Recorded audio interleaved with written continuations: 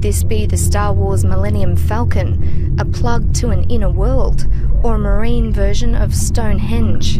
An exploration team finds something fit for the X-Files during an expedition in the Baltic Sea. The team captured this sonar image of a circular object about 300 feet down on the sea floor. The Baltic Sea anomaly. Is it really still an unsolved mystery? Are we looking at a crashed UFO? Or could it be an ancient construction from before the last ice age? Or is it just a simple rock? I'm Thomas Mikey Jensen, and I want to take you on a ride down the memory lane and review some of the most important ROV videos and pictures from the anomaly and the updates that Ocean X team brought us after it went on various worldwide news channels as CNN and Fox News. But let's start with the full length news clip from CNN that kicked it all off. For shipwrecked treasure hunters, it's a game of patience and persistence and being in the right spot at the right time.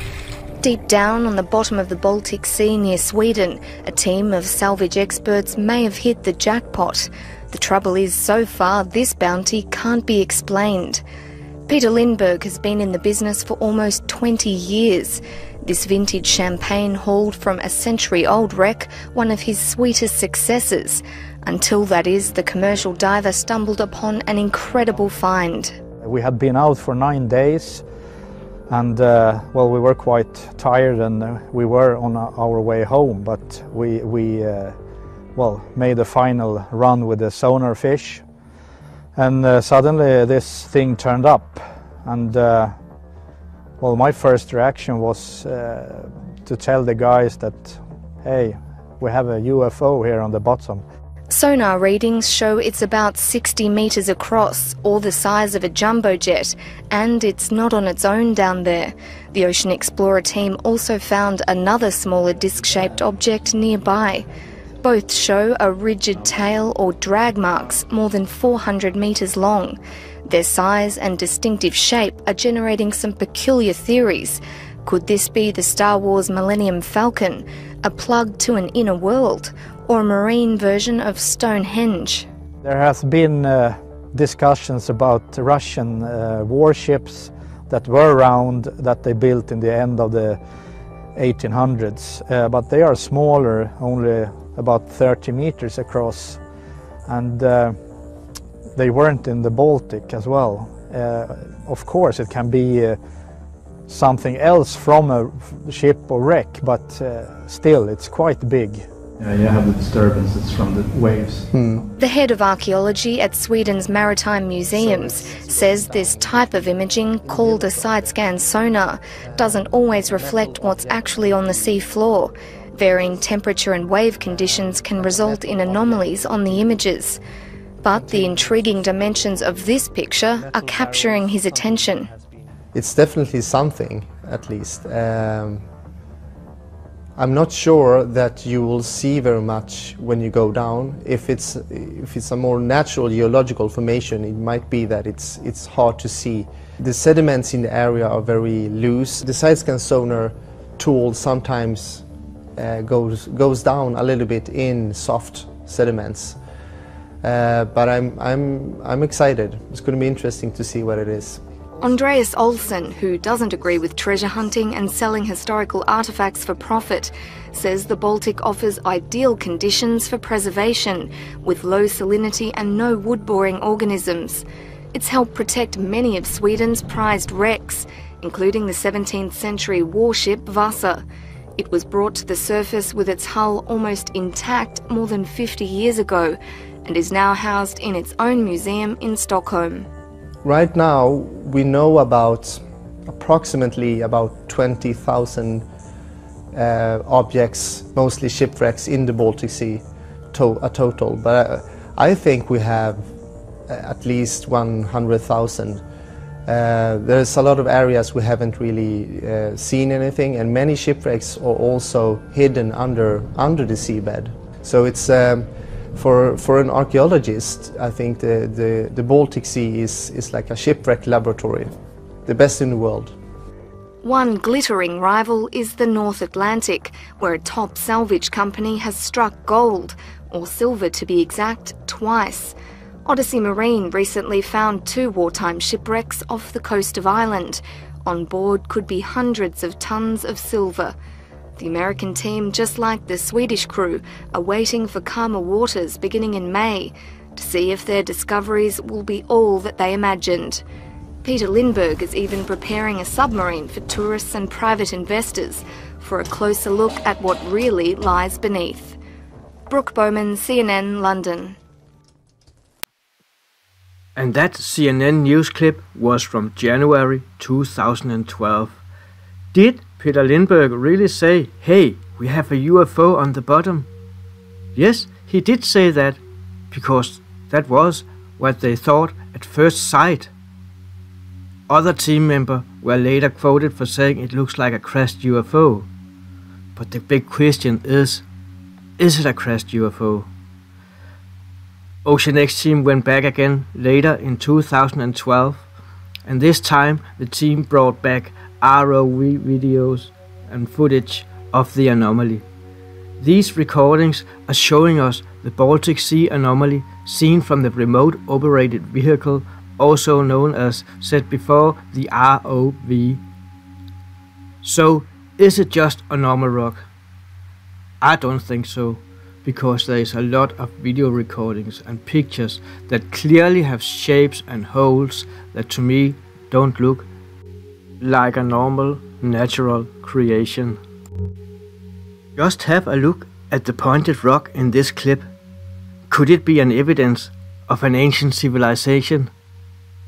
To me, it looks like the marker stones that ancient Neolithic people have placed around on Dartmoor in England, where I live. I have seen hundreds of shaped pointed rocks like this near all the old Neolithic settlements on the moor. So the question is if this is a marker stone, who shaped it and put it there, where there has been water for almost 15,000 years now? And what about the 90 degree angle showing up on the BlueView scan? Is that natural or constructed?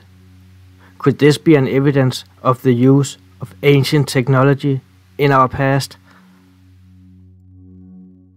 And what about the mysterious 2 meter wide hole with a square frame around it that they saw from the ROV on the BlueView scan? Is that natural or could it be constructed? Here is another hole in the anomaly. It's about 25 centimeters in diameter and they filmed it with the ROV. Some people have commented on it and said that they believe there is a flow of water coming out of the hole. My name is Stefan Hogeborn and I'm the diver uh, of Ocean X team. This is a picture of the hole in the object and we are very interested in taking a closer look at this. Here's another good example of square blocks. You see the 90 degree angle on the block on top right. Almost too good to be true. Not saying it's not natural. Here we have another really great example. Just look. See the lines. I am gonna screenshot this one, pause the video here. Look at those angles you got there. And it's not only the 90 degree angles you see, it's also the actual surface you're looking at that seems smooth. So not only do you have a 90 degree angle corner, you also have a smooth surface. Could this be something extraordinary we are looking at here? These are the recordings from the ROV from 2012 and these are, to me, amazing recordings. But there is about 5 hours of ROV footage and we can't go through it all here, but I'm gonna leave you with a few minutes here so you can have a look at it for yourself and think about what is it that we are looking at down there. I don't know it, we don't know it, nobody know it, but let's follow the ROV for a few minutes.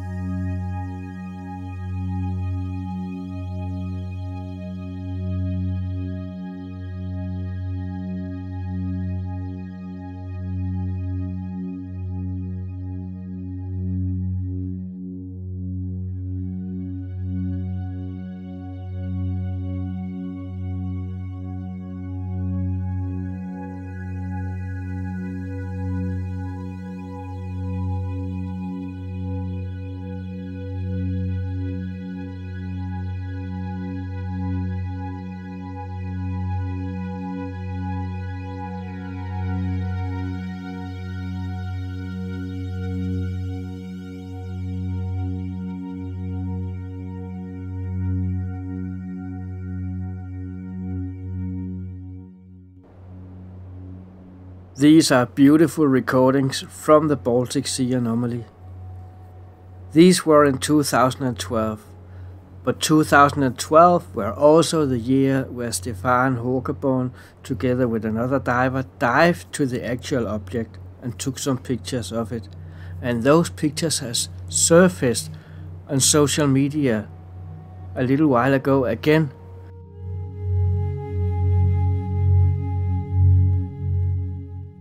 with a triangle on, imprinted on the side with a hole in the middle of the triangle. And just a little meter next to that hole and triangle, there is another hole visible on one of the pictures. These have just surfaced now in 2022. So let's have a look at them also. What are we looking at?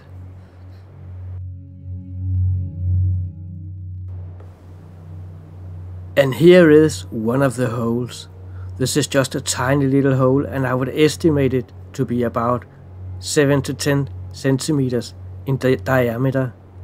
I have to add, when we are looking at this picture here, that the gray color you see is added because I want you to see what I see and I see a kind of a frame around the hole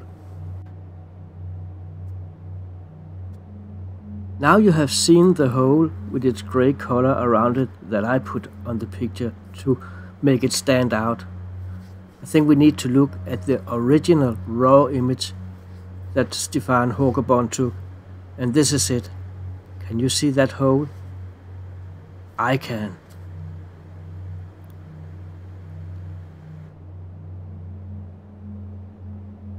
In our search for the answers about the Baltic Sea anomaly. Could this hole help us to find some answers to what it could be? And then again, in April 2022, Dennis Åsberg came out with this video. Hi, Dennis Åsberg here, Ocean X Team. I have today decided to go out with a picture. A new picture for you. But this picture we had already 2012. Uh, and we have lots of picture of the Baltic Sea anomaly. But this picture I think is very interesting. So I want to show you this. And you can also go into our webpage oceanxteam.com. There will I also put up the original pictures. So this is the Baltic Sea anomaly. if we are looking for latest news about the Baltic Sea anomaly, this video from Dennis have to this day today, and we are counting May 2022, gotta be the latest news. But Dennis didn't say anything about the image, he didn't say anything about the triangle he saw, he didn't say anything about the hole in the triangle. He did point it out with some graphics, though, so we went into the Ocean Explore Facebook group where I saw Dennis posted the pictures. On his post, he wrote, The Baltic Sea anomaly. If you look at the picture, you see a triangle with a hole, hard to see. Therefore, I have a picture with a red line as well. And you can see that the plate is covered with sediment as well. The picture was taken of the side of the object. What do you think? And that was Dennis Åsberg's way of telling the public what he think about the anomaly, or that is what I think that Dennis is doing. Now these videos and new pictures were a little offspring of our time travel back to the beginning of the Baltic Sea anomaly. We gotta go back to 2012 again and view just a few more minutes of Stefan Hogeborn's dive to the Baltic Sea anomaly together with his two co-divers. That was June 2012. And you can see Stefan taking the famous sample from the Baltic Sea anomaly that was sent to the Weizmann Institute to be tested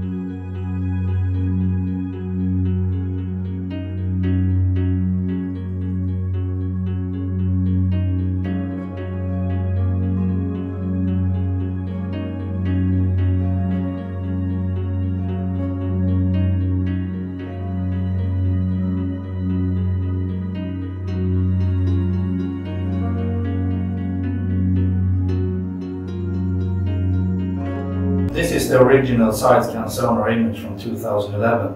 And one thing I find very strange is that we'll have this hard surface, but still we have a darker color. If it is a hard surface, it should have this white color all over it. But instead it looks like the bottom, which consists of clay and mud, which is very soft. The only hard surfaces we see is these thin lines, which are the uh, corridors and angular, angular um, structures we have on the object. So this is something I want to find out why it looks like this. This is a very, very interesting picture also. It's also a BlueView picture. Here we use the ROV and we're looking down at the object. Here you can see straight lines. It's, uh, in our eyes, not nature have done that, but perhaps it is.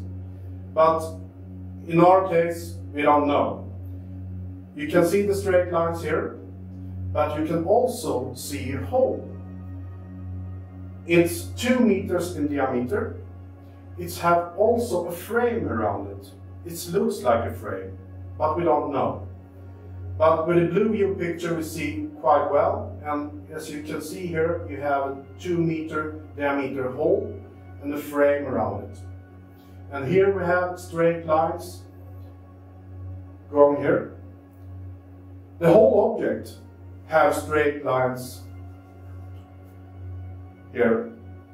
So this is a very interesting picture we have.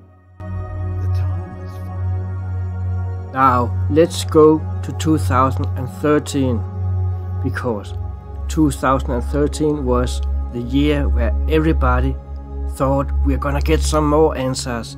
We knew the team were gonna go back. We knew they have issues getting funding to it.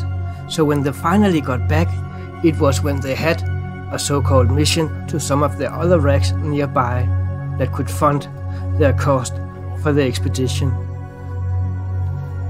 Time was limited and the money was low, the equipment wasn't the best, but the team tried the best they could to get some more answers.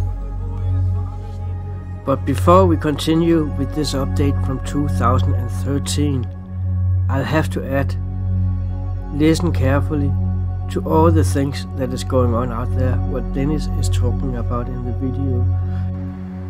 From ghost images on the radar to ROVs that won't work and constantly stop working.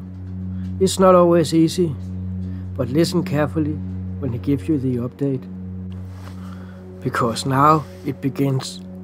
It's becoming strange. Strange things are happening. 100 meters. Now we are outside. We are um, near the second object in the Baltic Sea. And we're gonna send down the ROV to look at it for the first time. It's gonna be a magic moment. We are very interesting to see what we have found down there and this is like I said the first time we're gonna do that.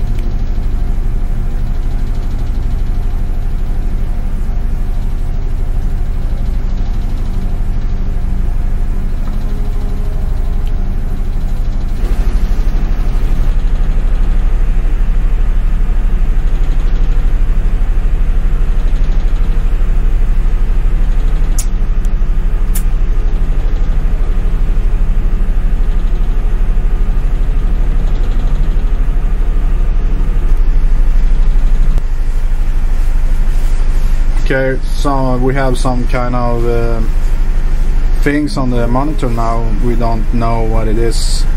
We are the objects. Uh, it's on the surface. That's the strange thing. It can be everything, but have you any? Yeah, film on the depth. The depth is depth. It's uh, almost off up on the surface. Uh, strange. Yeah these things are turning up. Yeah. Have you seen anything like it, Flores? No, I have not. Very strange. Yeah, for sure. This is strange. We are at the object uh, just uh, 150 meters from it, and we are on our way to the object, and this thing is coming up on the screen now. That's not.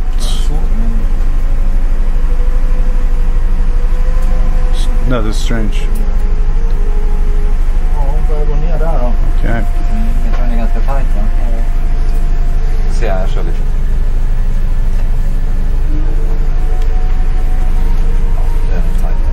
Tajt. Det dyker.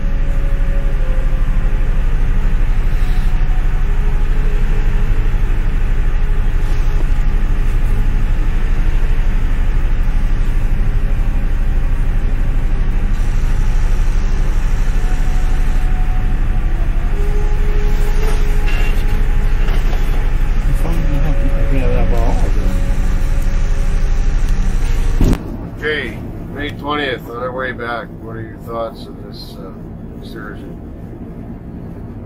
We're on our way home now. We have been out for 10 days. And the main purpose of this uh, journey was to look at a couple of wrecks. Uh, what can I say about that? It's not like we have hoped. Uh, we know things we did not know before. That's the good part. We know things we did not know before about the wrecks. It's the good part. We know things we did not know before about the wrecks. The good part. And this is where we are ending the live stream slowly. And this is where we are ending the live stream.